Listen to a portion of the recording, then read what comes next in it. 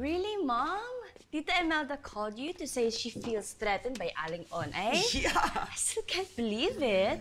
Well, Nasa alternate universe na ba tayo ngayon? you better believe it.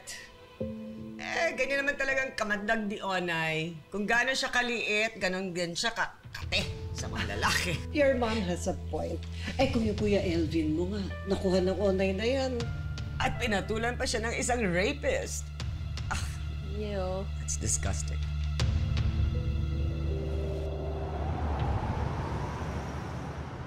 Hello, Myla. Anak, nandito na ako sa school niyo. Ito nga, oh, bumili pa ako ng gamit sa palengke. Bago tayo umuwi, gusto kita dalhin sa masarap na mamihan. Sige po, Nay. Patapos na rin po yung klase ko. O sige, antayin na lang kita dito sa baba.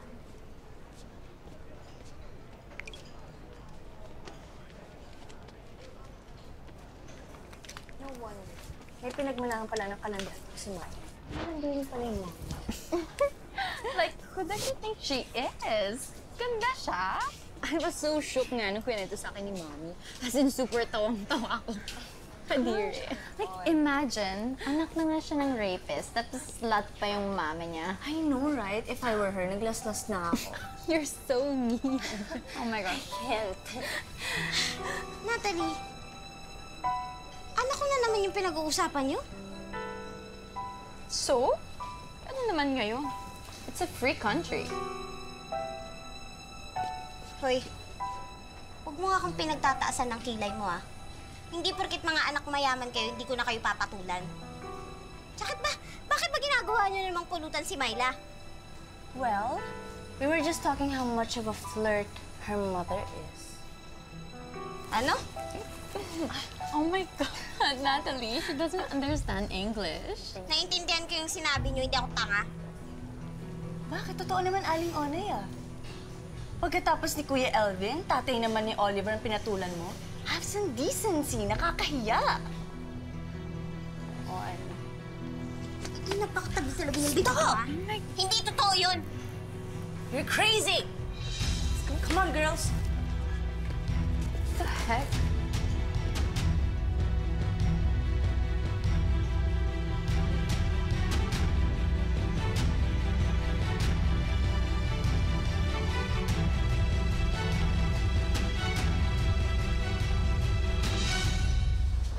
Nay, ba't ang sungit-sungit niyo? Parang may gusto kayong hampasin ng walis, ah.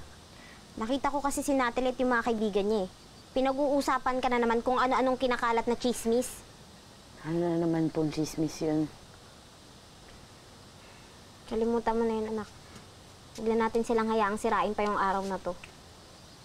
Ka na.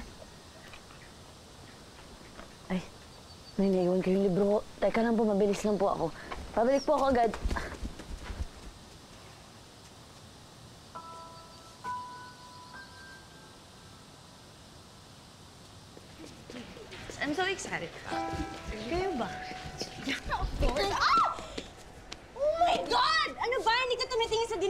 Mo! Kasalanan ko pa yun, ha? Haharang-harang ka kasi daan, eh. Ako ba talagang sisisihin mo? Ikaw nga to hindi tumitingin sa dinadaanan mo! Alam mo, pasalamat ka wala ako sa mood na yun, patulan ka. Pagkatapos pa ng ginawa mo sa nanay ko kanina, Bakit? Totoo naman yung sinabi ko ah. Yeah, right. My mom confirmed it pa nga eh. ano mong pinagsasabi niyong maaarte kayo? That your mother is a slut. Pumapatol sa may asawa na may asawa. Anong sinabi mo? You heard me right. Malandi ang nanay mo. Pati dad ni Oliver gusto niyang agawin. Myla, the apple doesn't fall far from the tree. Pwede huwag ka nagkakalat ng fake news? Bawiin mo yung sinabi mo. Hindi yun fake news, Myla. It was checked and verified. No wonder kung bakit narip ang nanay mo. Ginusto naman niya yun eh. Right, girls? Right. Sobra ka na. How dare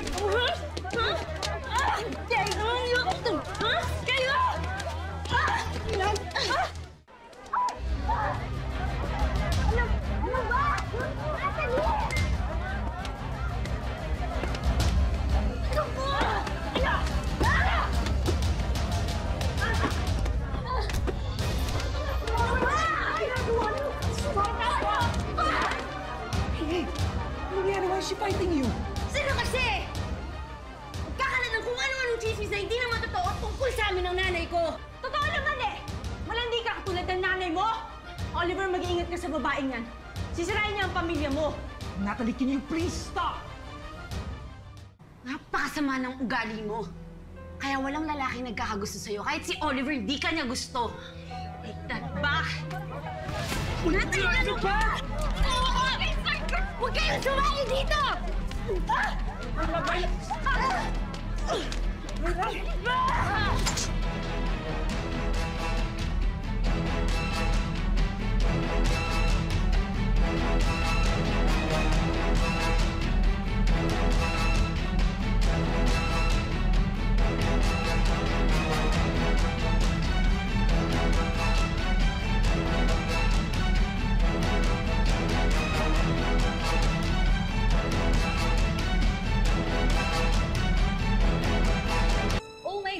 Natalie!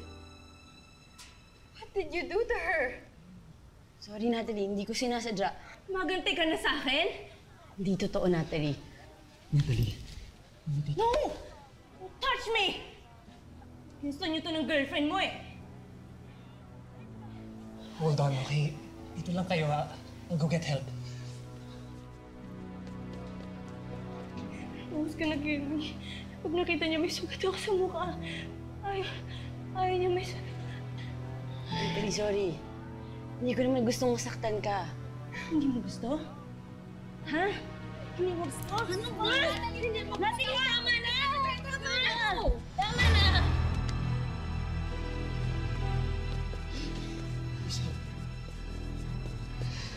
Ano nangyari dito? Miss, kailangan po kitang dalhin sa klinik. Kailangan pong ititit yan bago pa magka-impeksyon. Kasalanan mo to eh. Magbabayad ka. Hindi ko nga sinasadya. Nung hindi mo sinasadya, we saw you pushed her. Ang dami pa ang witness, oh. They even caught it on video. Sinungaling. Sisisihan mo to, Myla. Tandaan mo yan. Ikaw din naman kasi, Natalie. You provoked her. Shut up! Umpisa mo nga siya pinagtatanggol. Totoo naman yung sinabi ni Natalie eh. She's just making gante because she can't accept the truth. Come on, let's just bring her to the clinic.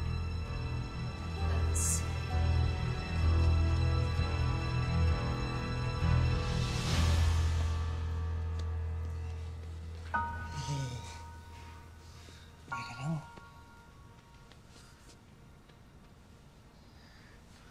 Don't fight her anymore, please. Talo lang tayo Oliver? dyan eh. Myla, Myla, what happened? Oliver, ano nangyari sa kanya?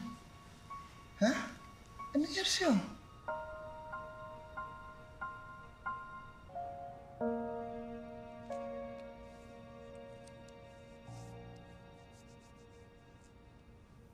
Miss, are you sure that won't leave a scar? Hindi naman malalim yung sugat. Kapag gumaling na yan, di na magpapeklat yan. Yun naman pala, Nat. There's nothing to worry about. Kahit na. Visit pa rin niya Myla na yan. She's trying to make me pangit kasi insecure siya sa akin. Kahit naman anong gawin sa'yo ni Myla, she will never level with you. Sobrang bato niya kaya manamit. So squatter. I won't let her get away with this.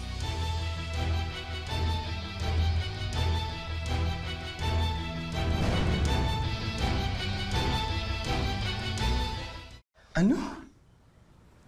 Pinagtulungan ka ng mga kaibigan ni Natalie? Oliver, hindi pa pwede mangyari. Wala ka namang kasalanan dun, di ba? Sasama ka namin sa principal. Tara, report natin yun, Huwag na Oliver. po. Huwag na po.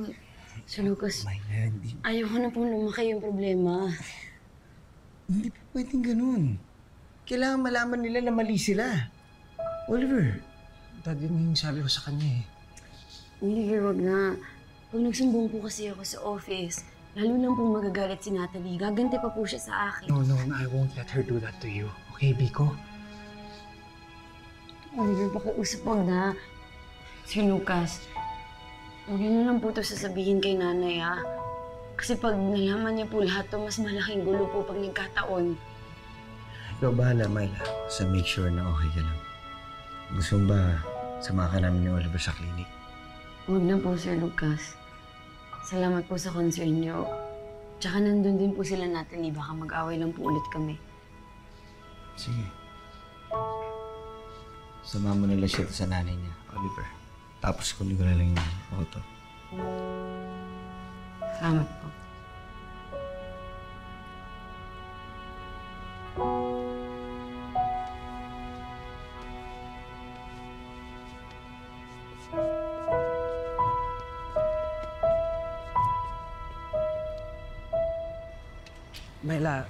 You sure you don't want to tell your mom what happened? Oliver, wag na lang.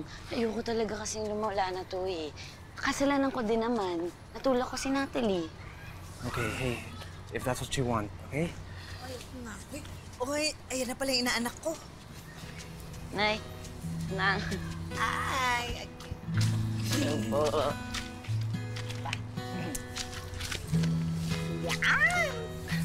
Aling Onay, peso na lang. hinatid ko lang si Myla. Ano, anak, tara na. Opo. Kina.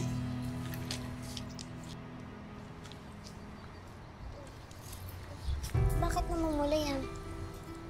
Wala lang po yan, Nay. Umamin ka nga, nakipag-away ka ba? Si Natalie na naman bang may gawa niyan sa'yo? Uh, no, no, Aling Onay. Si Myla just hit her arm on the door on the way out. Ganun ba? Ah, mm, okay ka lang ba, anak? Wala lang po yan, Nay. Namumula lang po. Mamaya po wala na yan. Ako naman, inaanak. Sa susunod naman, ingatan mo yung skin mo. Sayang naman, ang puti-puti, ang kinis-kinis mo, tapos syunga-syunga ka. Sige na po, I'll go ahead. My dad's waiting for me eh. Nay, may sasabihin lang po kay Oliver.